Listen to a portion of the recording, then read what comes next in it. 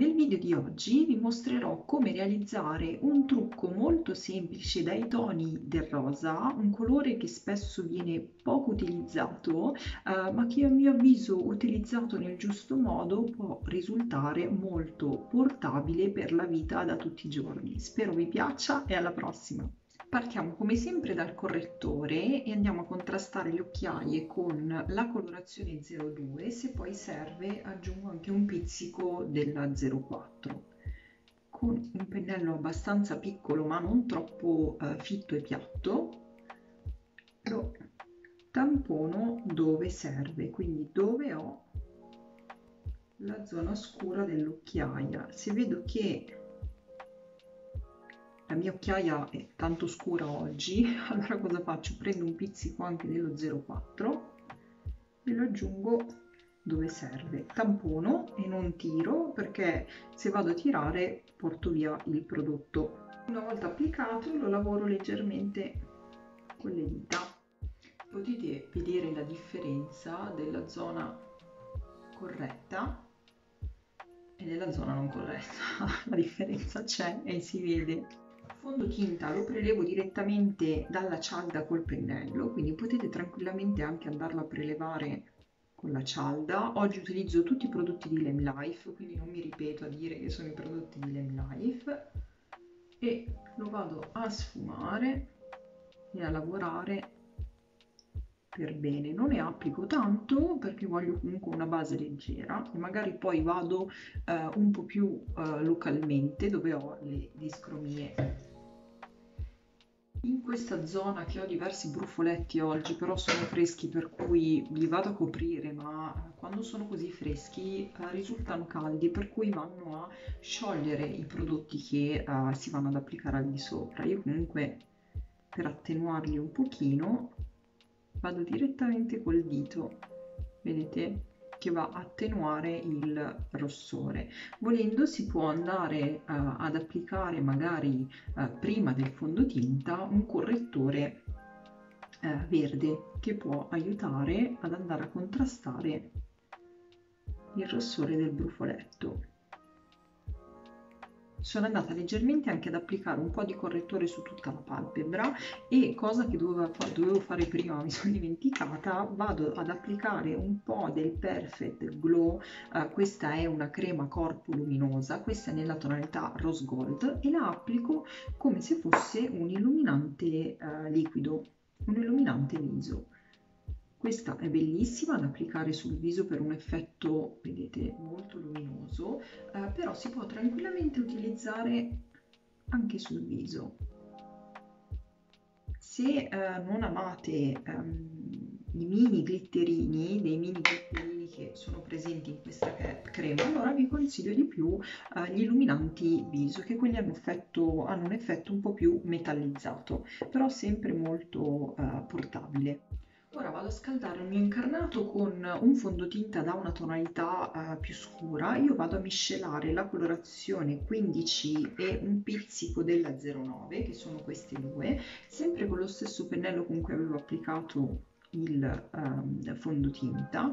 Ne prendo davvero poco e lo vado ad applicare qui come se fosse una sorta di bronzing in crema quindi una terra in crema praticamente. Diciamo che la differenza rispetto a un bronzer in polvere, anche se comunque poi se si vanno a scegliere delle texture sottili, mh, mm, sottili non si percepiscono, comunque la differenza è che risulterà molto più eh, naturale. Applico un po' qui, un po' anche qua e la tiro un po' anche sul collo. Vedete che non è nulla di netto, adesso qua pian pianino sfumo e risulta molto molto naturale.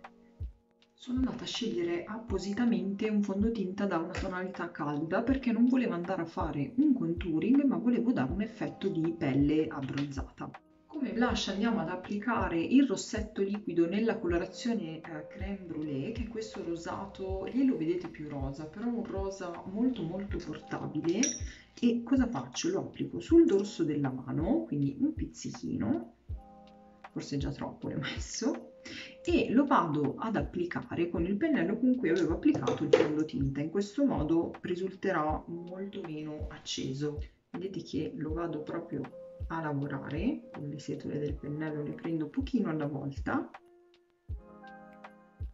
poi lo vado a lavorare. Lo posiziono appena sopra rispetto a dove avevo applicato il, il bronzer il fondotinta dalla tonalità più scura e calda e lo sfumo verso l'alto per dare un effetto lifting. Vedete che bell'effetto mi piace anche la colorazione. Vedete che con un rossetto liquido si può tranquillamente andare ad utilizzare anche sul viso L'aspetto positivo di andare ad utilizzare dei rossetti liquidi sul viso è che anche in questo caso risulteranno molto sottili eh, sulla pelle e avranno una lunghissima tenuta, per cui questo eh, diciamo che aiuta un po' anche eh, riguardo al fatto che dobbiamo indossare ancora la mascherina. Ora fissiamo e iniziamo con andare a fissare il contorno occhi. Utilizzo un pennello un po' più piccolo per essere più precisa. Vado a fissare il centro del viso. Utilizzo un pennello un po' più grande ma dato che è troppo grande cosa faccio? lo vado a piegare con le dita e vado a tamponare dove serve principalmente nella zona T. Come sempre quello che rimane sul pennello lo porto sul resto del viso per enfatizzare l'aspetto luminoso di questa base luminosa vado a sfumare l'illuminante 06 con un pennello molto ampio, quindi lo applico praticamente dove avevo utilizzato l'illuminante in crema e poi sfumo solo e soltanto un po' di bronzer, non vado a utilizzare il blush in crema, il in polvere, eh, il bronzer 01, questo è da una tonalità satinata, per cui mi andrà ad esaltare ancora di più eh, la bronzatura e la luminosità. Come sempre cerco di essere leggera nei movimenti di non fare movimenti troppo um, pesanti per non rischiare che si vadano a creare delle chiazze. Ok, la nostra base è fatta, quindi possiamo dedicarci agli occhi. Parto come sempre dall'infracigliare, questa è la colorazione marrone. Tiro su la palpebra e faccio dei piccoli tratteggi Ora prendo la matita eh, rosa, un rosa bello freddo, super luminoso, questa fa parte della matita duo dove si trova da una parte eh, il blu e dall'altro il rosa, l'ho temperata molto bene e vado ad applicarla eh, praticamente su tutta la, la bordatura, quasi fosse una uh, riga di eyeliner, però non vado a fare ecco, una riga di eyeliner netta. Quindi vado proprio alla base delle ciglia faccio una bordatura che mi farà poi eh, da base per il successivo ombretto che andrò ad applicare. Magari nella parte più esterna ad occhio aperto la disegno leggermente più spessa. E faccio una piccola piccola piccola codina. L'applico anche nell'angolo interno e picchietto. Qui la lascio netta vado a picchiettare solo l'angolo interno per sfumarlo un po' di più ecco. Ora per renderla più visibile vado a prelevare il numero 23 che è questo qui. Mi prendo un pennello piccolino piccolino e abbastanza compatto. Prelevo il colore e lo vado a posizionare esattamente dove avevo applicato la matita. Vedete che um, si scurisce leggermente ma rimane sempre da un sottotono rosato Ora con le dita uh, prendo il numero uh, 20, sì il 20, che è sempre un colore luminoso da un sottotono rosato e dove vado ad applicarlo? Vado ad applicarlo praticamente su tutta la palpebra e questo mi aiuterà a sfumare anche l'ombretto che avevo applicato al di sotto. Ora prelevo il numero 18 che è questo colore qui e lo vado ad applicare nella parte più esterna per andare ad intensificare leggermente. Quindi invece di andare ad utilizzare un classico marrone opaco utilizziamo un, utilizziamo un colore luminoso. Ora faccio eh, le sfumature con gli ombretti opachi e vado prima con il 33 e eh, lo sfumo nella parte più alta quindi ad occhio aperto lo posiziono in questa zona qui. E poi con la tonalità più fredda questo è il numero 40 lo vado a posizionare proprio nella piega. Vedete che si sta creando quest'ombra un po' più fredda si vede rispetto a qui mi darà più profondità movimenti piccoli, circolari e leggeri. Si vede la differenza, qui l'occhio è un po' più profondo rispetto a qua che risulta un po' più piatto. Andiamo a piegare le ciglia e poi applicare il mascara.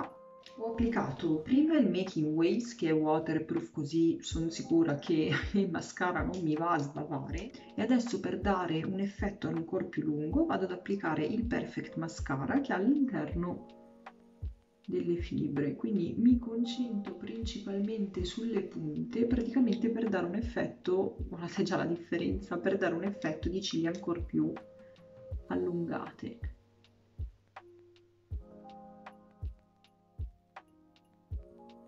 Adesso lo applico in un occhio così vi faccio vedere la differenza rispetto all'altro dove ho applicato solo il making waves.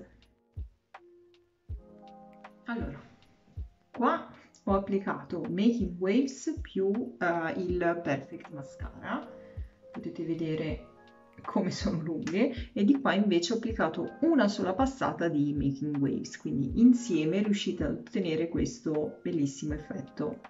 Contorno le labbra con la Dark Nude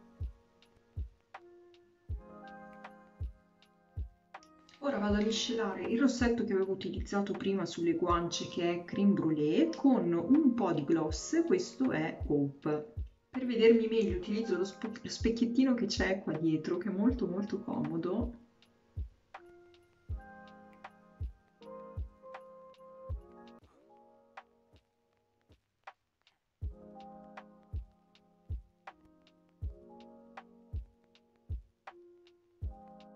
Il video è terminato, questo è il risultato finale, fatemi magari sapere qui sotto nei commenti se vi è piaciuto come uh, make up, come trucco rosato da indossare tutti i giorni tranquillamente. Io vi ringrazio per aver guardato il video e se vi va ci vediamo alla prossima, ciao!